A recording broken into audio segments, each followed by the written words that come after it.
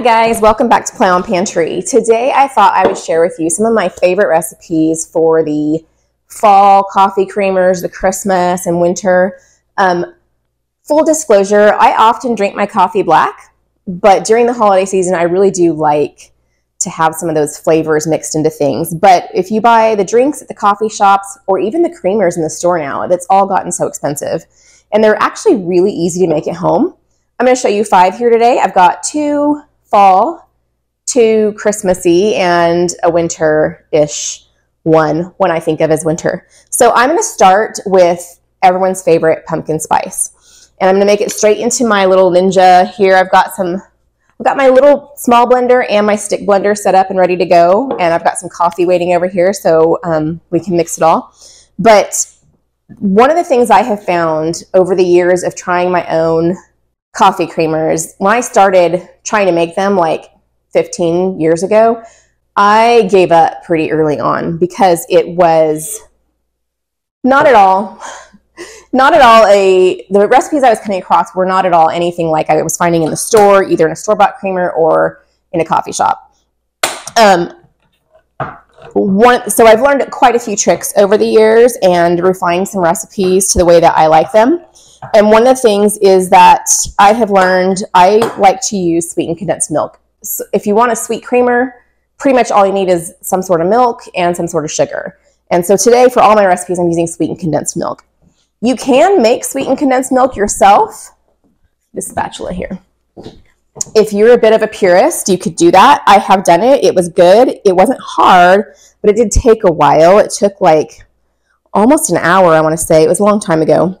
And I just decided that I would rather buy the can in the store, stock them when they're on sale, and do that. One of the issues I had specifically with pumpkin spice creamer recipes was that they were very grainy to me. And that's why I'm using the blender. One of the tricks I learned over time is that if I put it in the blender, it would just make everything kind of all smooth for me because I did not like having that um, Get that off. I did not like having that grittiness in my coffee. And it also, I didn't feel like it actually incorporated that well either. So for pumpkin spice, by the way, I will write all these recipes out in the description box below for you. For the pumpkin spice, I have a can of the sweetened condensed milk, and I'm going to do uh, like one and a quarter cups, half and half.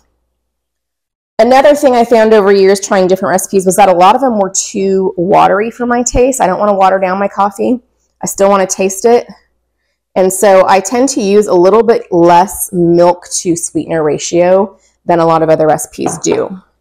But uh, if you want it even thicker than mine, you can do even less milk. So the sweetened condensed milk is about a cup, so it's almost like a half and half blend. In addition to these, which by the way, this is kind of the basis of a lot of today's recipes right here. I'm going to use syrup to sweeten it today. I'm going to use a couple of tablespoons. I like having these liquid measuring cups. You can use a different sweetener if you want, but I, I, was trying to stay seasonal here with the pumpkin spice, and I feel like the maple syrup doesn't really taste mapley, but it gives it the right kind of sweetness, if you know what I mean. Three tablespoons of pumpkin, and I'm gonna, I just use canned pumpkin, not pumpkin pie filling, but pumpkin. And I am, um, I had this can open from something else I made earlier this week. Just gonna eyeball three tablespoons that little zhuzh. Okay, and I still have more of that to use. And then I'm going to use, sorry, I gotta wipe my fingers. Then I'm gonna use some seasonings here. I'm gonna keep this out because I have more, more sweetened condensed milk to open today. So I'm using pretty much pumpkin pie spice. So if you have pumpkin spice, pumpkin pie spice, you can use like between one and one and a half teaspoons of it. Um, if you don't, you can just do what I'm doing here and use the same seasonings. I usually have it made up. I forgot this doesn't fit in my jar. So uh, a teaspoon of cinnamon, it's going to look like a lot because I'm using my little quarter teaspoon here. But one teaspoon of cinnamon. For one teaspoon, okay? And then I'm going to use a quarter teaspoon each of nutmeg and ginger. I love nutmeg. Nutmeg is my favorite baking spice. I love it. I love the smell of it. I like to grate fresh nutmeg onto eggnog. Mmm, so good. teaspoon each of nutmeg and ginger, and then just a little bit of cloves, like an eighth teaspoon. A little bit less. And then we're gonna go for a teaspoon of vanilla. Do you ever notice that it always, recipes always seem to call for a teaspoon of vanilla? This is, this bottle is so old. I make my own vanilla and I've reused this bottle. I think it was from Aldi from like forever ago and it's probably gonna need to be replaced soon. This is gonna go straight over here into my little Ninja and blend it up. And then we'll try it out with some coffee because it's pretty much ready. These are all easy, by the way. It would be super fun to make all of these in like a bar for people, like a holiday little coffee and dessert type get together.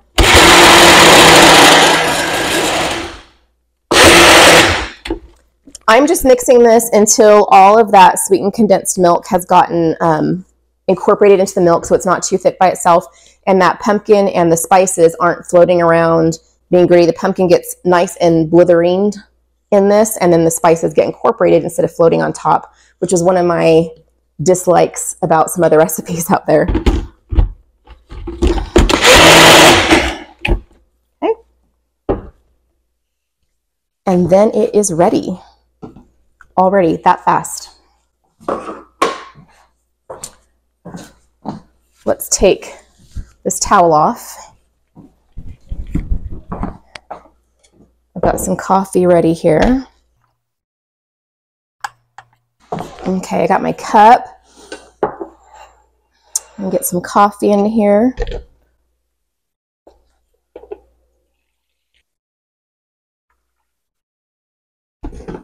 I'm leaving room for my pumpkin spice creamer. Mix it up. I like mine a light tan, but you can do whatever color you like, whatever strength you like. Bon appetit. Mm. It is the perfect fall day for this. I'm looking out the window and the trees are changed, mostly at their peak. Leaves on the ground. It's raining for the first time since the hurricane and we needed the rain.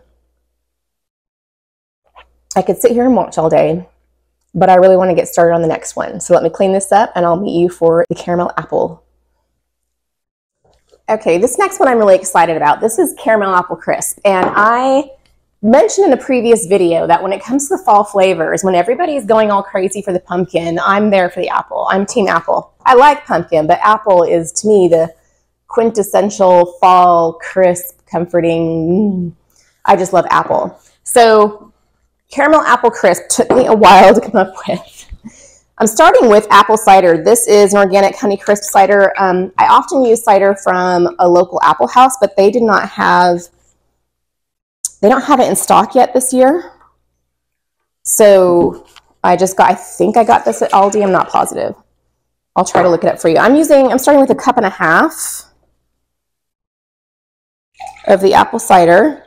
This one, to get that apple flavor, I am using um, mostly apple cider for the flavor and the sweetener. I'm not using the sweetened condensed milk in this one, and I'm using actually very little cream. I'm only going to use a half a cup of the half and half. This took me a long time because I really wanted a lot of the apple flavor in the creamer and not a lot of similar recipes out there will do that for you. I lied. I am using sweetened condensed milk. So I've got the half and half, the honey crisp cider. I was like, I was looking at my recipe there and I was like, that's wrong. I did use, so I do use a can of sweetened condensed milk in this. I am going to put this in a quart jar so I can put the stick blender in it to mix this one up. I need my spatula. So the sweetened condensed milk helps with the caramel flavor in this, not just the sweetener, because one of the things I tried when I was coming up with a caramel apple recipe was to actually like try caramel. Um, I tried um, melting caramel candies. I tried the caramel um, ice cream topping type things. And it was just really hard to work with as far as getting the flavor right without too much sweetness and without having to use too much. It seemed like to get it caramelly, you had to use a ton of it. But caramel actually starts as like milk and sugar, which is what sweetened condensed milk is. So it, it works out well flavor wise for that. So in addition to the cider and the sweetened condensed milk, and half and half, I'm doing um, some cinnamon and vanilla is pretty much all that's left. I'm gonna do half teaspoon of cinnamon here. A lot of the fall and winter flavors have cinnamon. I should probably just leave the cap off of this. Okay, half teaspoon cinnamon, we'll leave that there. And then a teaspoon again of vanilla. Need to refill that. Okay, so I'm gonna keep this in the jar and I'm gonna take it over to my stick blender and just zhuzh it up in there.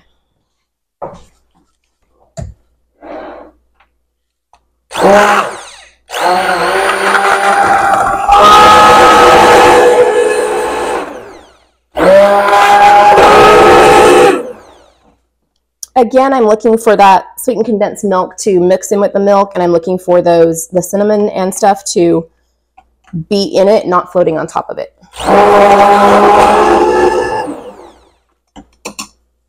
Made a bit of a mess. That's okay. That actually happens in here quite a bit. Messes are cleanable. Okay, let's get this one going. Get some coffee in.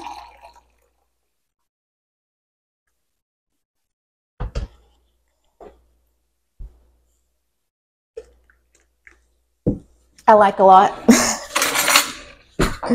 because I like to taste those flavors I'm adding to it.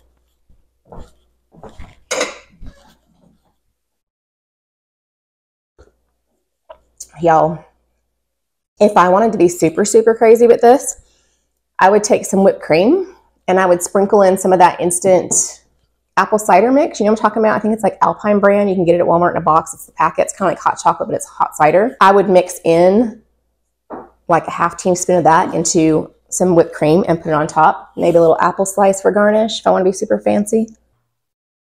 And that's fall. Sometimes I will add an apple extract, like a green apple flavoring. I used to have, I don't have it anymore. But this is really good. You guys ready to move on to the Christmas flavors?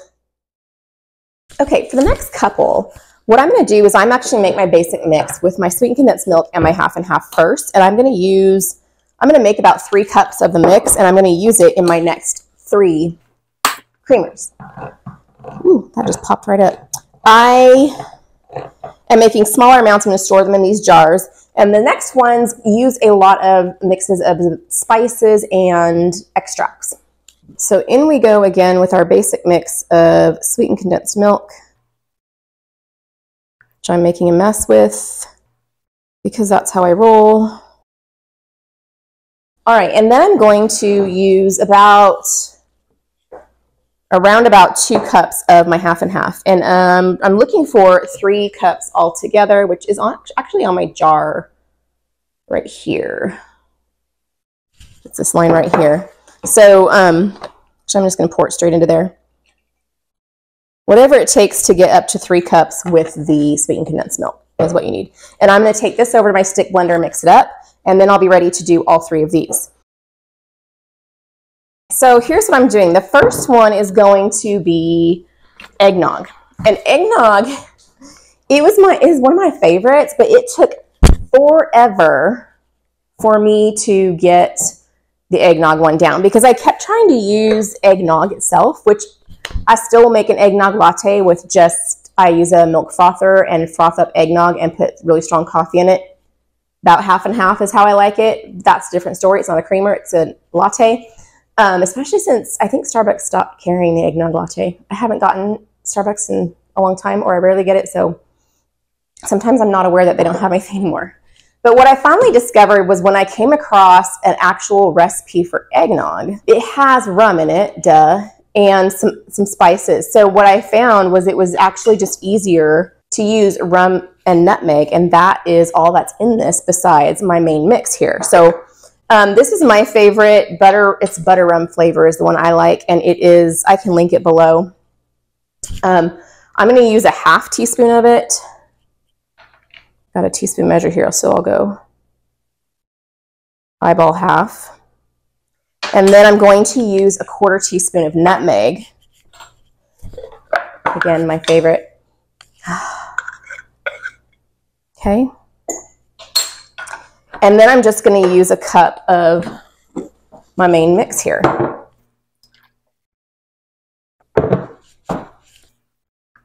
It smells like eggnog already. It smells like it already.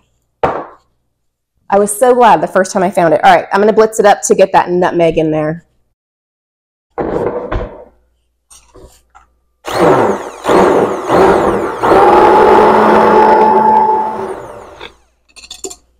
Doesn't take much. This is my favorite winter one, y'all. My husband is the peppermint mocha fan, but I am the eggnog fan.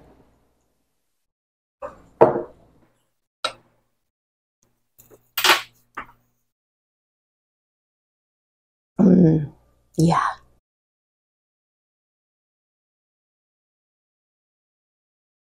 All right, for the next one, let's do peppermint mocha, and it is the only one that we have to go to the stove for, and I'll explain why in a moment. For the peppermint mocha, the reason we have to come to the stove is because I, after spending forever trying to figure out how to do the peppermint mocha, I decided that the best way, according to my taste, was actually to use chocolate itself, not cocoa powder, not chocolate syrup. Those just made cocoa powder was really hard to incorporate and not sweet enough. Chocolate syrup is too sweet.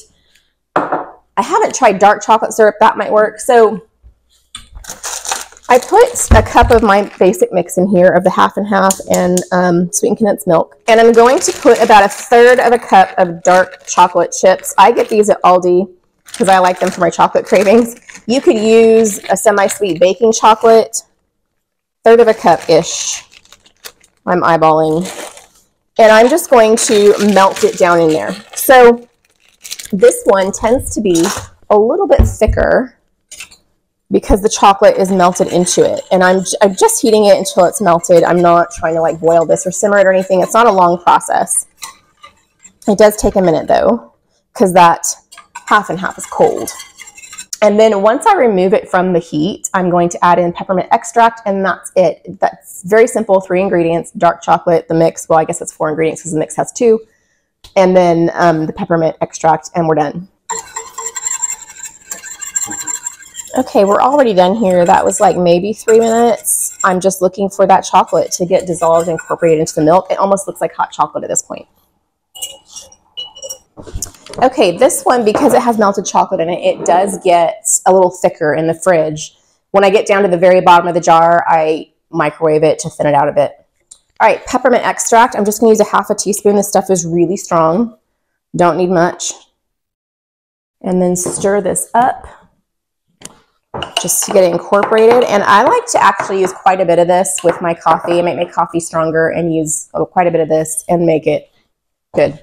You guys, it even smells pepperminty and wintry in here. Oh, the smells in the kitchen today. Mmm. That is so fresh and pepperminty. I feel like I should be standing at a Christmas parade right now. You could totally put whipped cream on this and some crushed peppermint candies. It would be great. Last one though on the home stretch. Okay, for our last creamer, we're going to do a French toast. I thought this would be a great mix of kind of wintry because it's got like the cinnamon and the warm comfort food flavors, but not necessarily a holiday one. I'm starting with my last cup of my mix that have my sweetened condensed milk, my half and half. And I'm to grab some extracts and other flavors real quick. I'm to grab vanilla, cinnamon, pinch nutmeg, almond extract. And I'm going to get maple syrup out. So maple syrup is not in French toast necessarily, but it is what a lot of people put on top of French toast. If you don't like the whole syrup angle, I would use like a quarter cup of brown sugar in its place. Um, that would still play very well with the flavors and give you that same French toast profile without the maple syrup because some people don't put syrup on theirs. So to my mix, I'm adding a teaspoon of vanilla, that was the last of it. Perfect teaspoon. Need to refill that. And a teaspoon of almond extract. Now, normally I would say that's a lot for almond because almond's pretty strong, but in this case, it's actually not. It's perfect. Almond extract, a half teaspoon of cinnamon.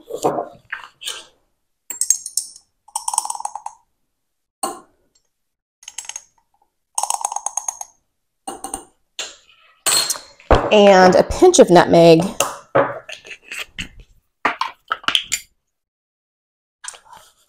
And a couple of tablespoons of maple syrup. I like about two tablespoons. And I'm going to put this, get it mixed up over here. Okay, let's try this one out.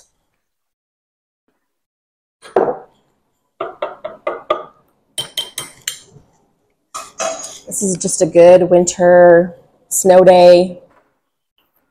I think that last time I had this was in January of this past year when I was sitting on the couch. Remember, I had slipper socks on. It was snowing outside, and I was just watching it out the back. We've got like sliding doors that go out to the back patio. Mm. You could totally put whipped cream on this, just like all of them. Sprinkle some cinnamon sugar. I would actually stick a little square if you want to garnish and look look pretty. I would stick a little square of cinnamon toast crunch in the whipped cream.